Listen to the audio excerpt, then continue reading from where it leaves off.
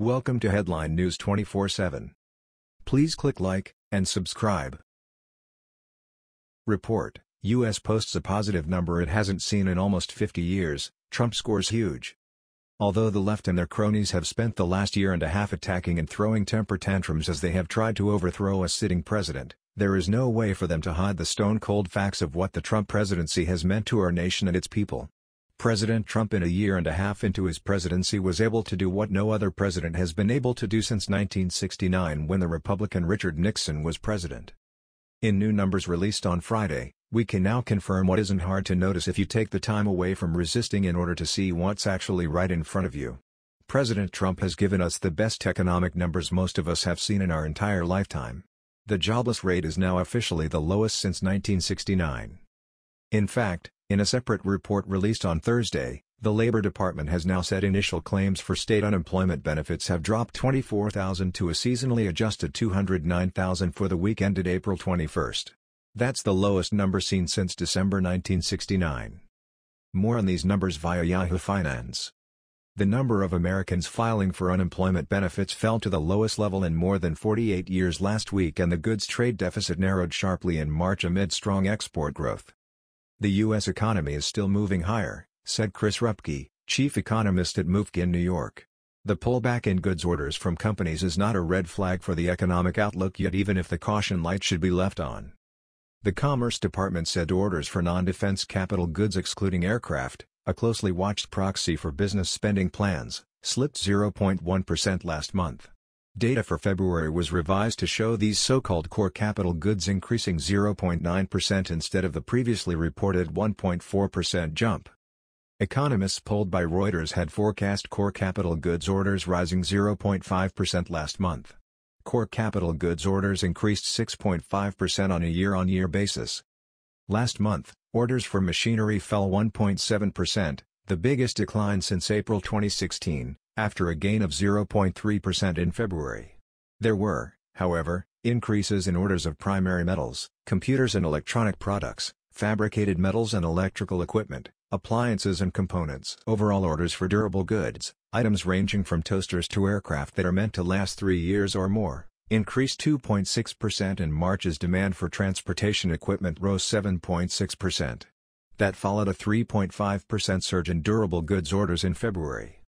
Shipments of core capital goods declined 0.7% last month after a downwardly revised 1.0% increase in February.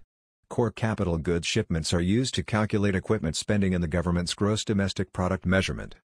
They were previously reported to have vaulted 1.4% in February. Business spending on equipment likely cooled in the first quarter after double-digit growth in the second half of 2017. The moderation in equipment investment is expected to have combined with a sharp slowdown in consumer spending to restrain economic growth in the first quarter. U.S. Treasury yields held at lower levels after the data. The dollar rose against a basket of currencies. Stocks on Wall Street were trading higher as strong earnings from Facebook and a handful of chipmakers powered technology shares.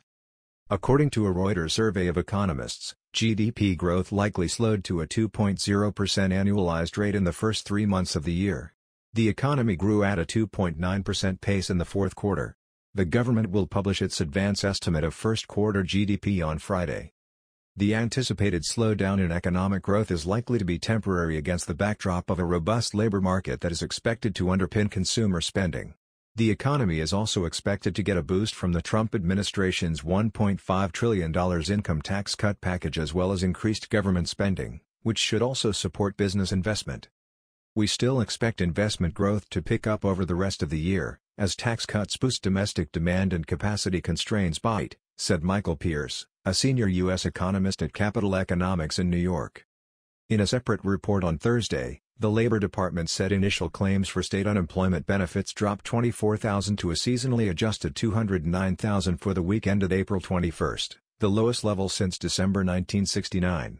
Economists polled by Reuters had forecast claims falling to 230,000 in the latest week. The labor market is considered to be near or at full employment.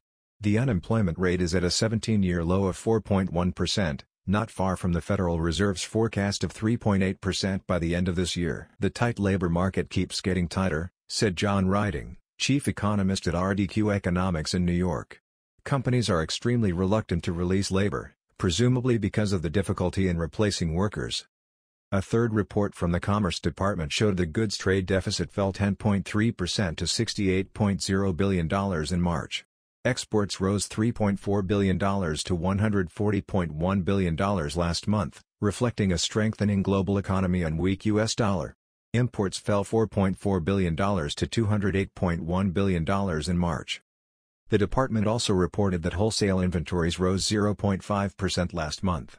Retail inventories, however, fell 0.4%.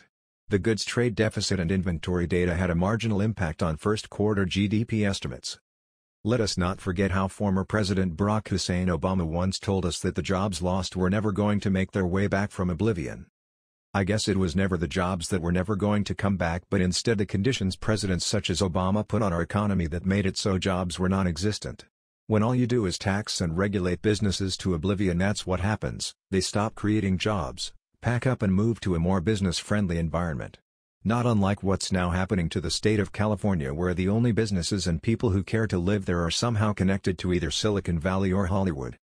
Who would have thought it would take a brash outsider to bring America back? Especially after both sides of the political aisle told us we had to learn to live with the fact that the United States isn't what it once was. Must be easy to come to terms with that when you get elected to a position which pays $150,000 a year and 10 years later you end up being worth over $10 million.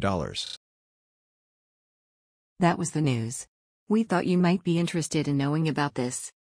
Please click like and subscribe. Thank you.